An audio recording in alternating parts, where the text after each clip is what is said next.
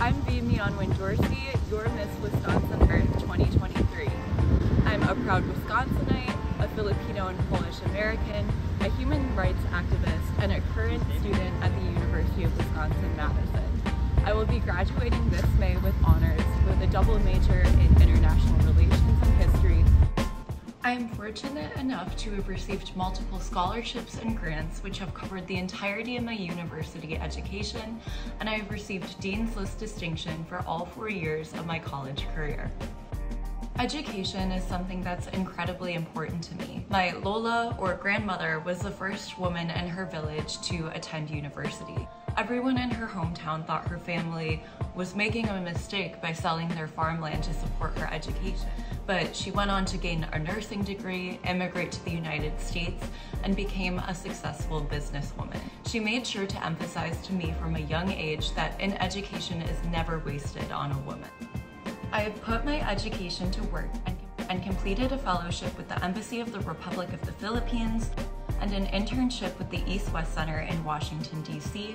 Where I conducted research about U.S.-ASEAN relations, translated articles from Tagalog to English, and wrote articles about local connections between the U.S. and communities across Southeast Asia.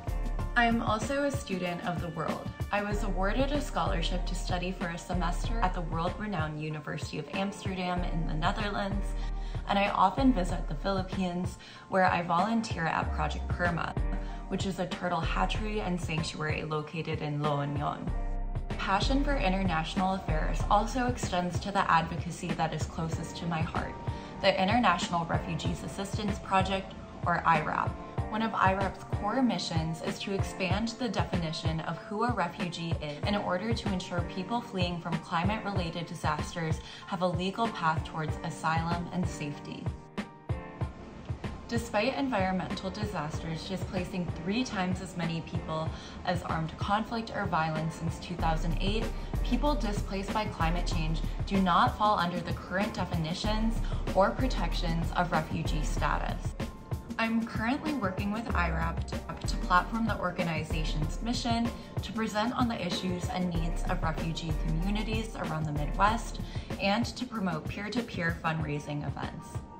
While I have a passion for thinking globally, I also act locally and volunteer with several organizations that serve the needs of Hmong and Rohingya refugee populations around Wisconsin.